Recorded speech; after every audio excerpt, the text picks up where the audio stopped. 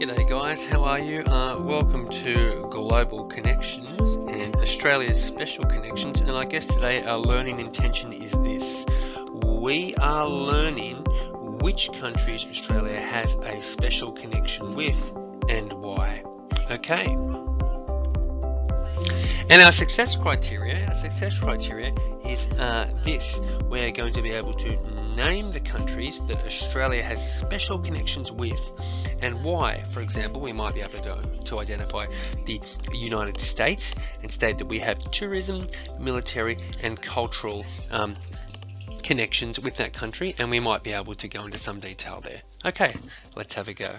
Okay, the uh, first country we are looking at today, the first country is China, and we have significant trade relationships uh, with China. In fact, our our imports, which means um, what we um, what we bring in from China, import means you bring in, are worth more than Australian dollars 21 billion and we bring in a lot of telecommunications equipment, IT products, furniture and homewares um, from China. I'm making this recording in 2020 and you might have noticed that some of the stores are a little bit more empty than usual, particularly Kmart because we're having a bit of a squabble with China um, right now. Our exports to China include iron ore, gas and coal and that is worth about 80 billion or 79 billion dollars and that's a lot of money. Hey that is a great deal of money. You can see actually we sell more to China than we buy from China.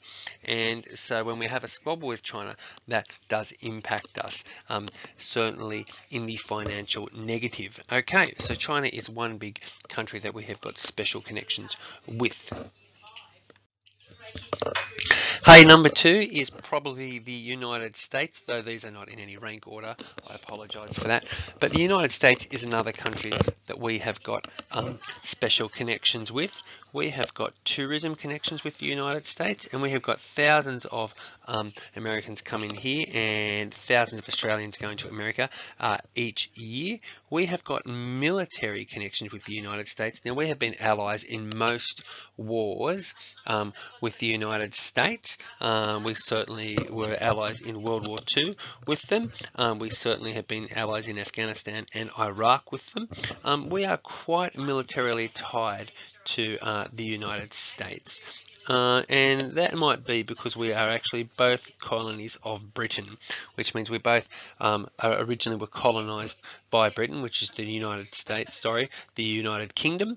And so we have got very close cultural ties with the United States. We have a similar culture, and culture means what people does and how they do it and why they do it. So we sort of watch the same television. We wear the same clothes. We have many of the same religions in our um, in our countries, and probably most importantly, our government system is quite the same.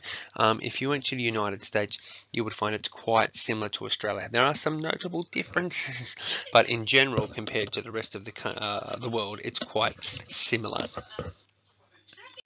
Hey, let's have a look at New Zealand next. Let's have a look at New Zealand. New Zealand's number three. And New Zealand are our neighbours. They are right next door to us. And uh, uh, they are also actually a British colony. So some of the um, some of the connections we have are sport. Now, of course, we play rugby with um, New Zealand. We are quite competitive with New Zealand in that regard. So we have a strong connection there. And I should highlight, of course, that we are neighbours as well. And because we are neighbours, we are quite close and we are allies with each other. We are neighbours that get on. There are some neighbours that don't get on, but New Zealand, uh, we are neighbours that certainly get on. Again, we are both British British colonies. So we both, I guess, um, um, in, in, a global sense, originated um, from the same part of the world and came and colonised New Zealand and came and colonised um, Australia, though there were, of course, indigenous people there already. Um, because we get on so well and have quite similar cultures, we have military connections as well, military connections as well. And so you might recall the ANZACs, you know, the Australian New Zealand um, Army Corps, and that means that in most world wars or in world, the world wars we've had, we have worked together and certainly in wars since then, we work and we fight together. So we have strong military connections. Again, our culture is very similar. We watch the same television shows, we read the same books, our governments are, are more or less the same. Uh, we wear the same fashion and we read the same books and I've mentioned that already. Our cultures are very similar, a little bit different. in, in, I guess in Australia we say fish and chips, whereas um, New Zealanders say fish and chops. But in general, we are very similar. In fact, New Zealand is in many ways Australia's little brother, and I say that with affection. Hey, let's look at another another country. Let's look at the United Kingdom. Let's look at the um, United Kingdom. And the United Kingdom is, of course, um, well, we are a British colony. So we came from the United Kingdom. And the United Kingdom, of course, includes England, and it includes um, Wales, and it includes Ireland, and it includes Scotland. And we are what is known as a British colony, and, and Britain is another word for the United Kingdom. Hey, so militarily, we have got strong links with them. We have fought with them in World War One and World War Two, and in the Middle East since. Many wars we have been fighting alongside them. We have really never fought against them. Um, because we are part originally part of the um, British Commonwealth, we compete with them, or rather against them. Australia competes against them in the Commonwealth Games, and in the great and glorious game of cricket, and in the great and glorious game of rugby. We have strong sporting connections. We are very tightly linked to the UK, and we are very tightly linked to the US. And I think that's worth highlighting. That um, again, we have a similar government to the United Kingdom. We watch the same sort of television, we read the same sort of books, we wear the same sort of clothes, we have the same sorts of religions. Um, if you were to live in the UK, it wouldn't be too different to living in Australia, except there's um, considerably less beaches. Now, of course, the UK is different to Australia. There's no doubt we're culturally different, but compared to the rest of the planet, we're quite similar. Okay, let's look at another country a very a country we're very different culturally to, but a country we have a special connection to, and that would be Papua New Guinea. And we have a connection to Papua New Guinea because we are very, um, oh, have I spelled foreign correctly? I'm not sure I have. I might have to fix that because we are very um, concerned with giving them foreign aid, which means we're very active in their country in these three areas. Now they are close by to us, but again they're culturally very different. They are not the same. They are culturally very different. They are not like New Zealand. Um, we help in Papua New Guinea in the following ways.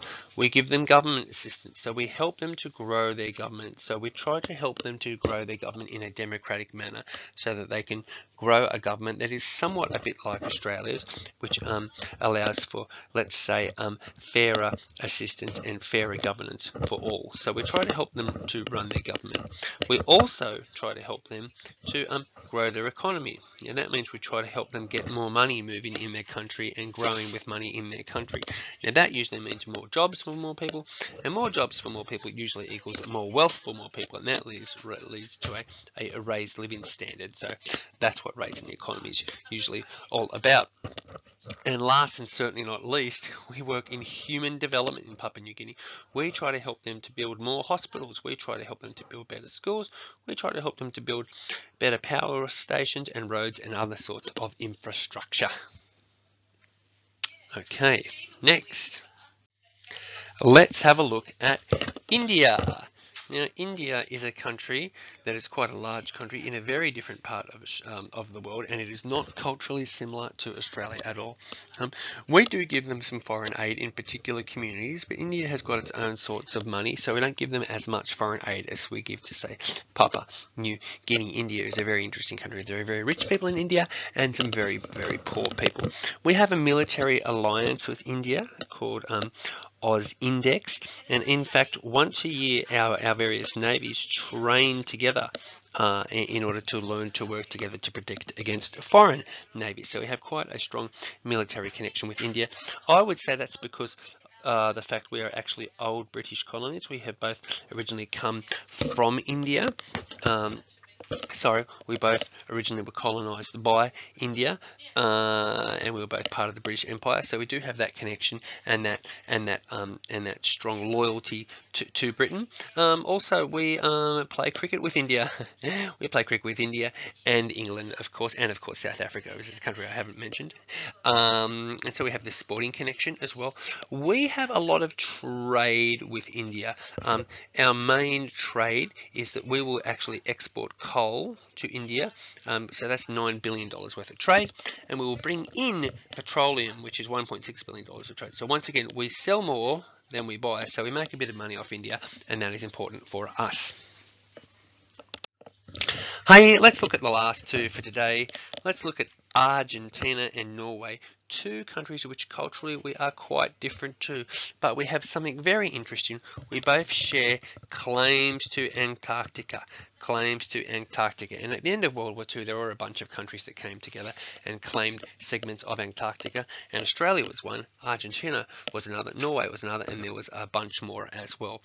And just to note, the Antarctic Treaty, I know we've claimed Antarctica, and there's eight that we're sharing it with, but just to note, the, the current treaty in Antarctica, the Antarctic Antarctic Treaty puts all claims of sovereignty or owning Antarctica on ice, and the existence of these claims is acknowledged, but no decision will be made about them as long as the current treaty runs. The Antarctic Treaty stipulates that the continent shall not be used for military activities, nuclear testing, or storage of nuclear waste, and that all parties have the right to inspect each other's activities. This prevents conflicts and has enabled Antarctica to develop into a place reserved for peace and research. So, there are eight countries in total which share ownership sort of of Antarctica. Australia is one of them, so is Argentina, and so is Norway. Hey, we have looked at at least eight countries that have got special connections with Australia and why, and I hope it's been somewhat helpful. See you later.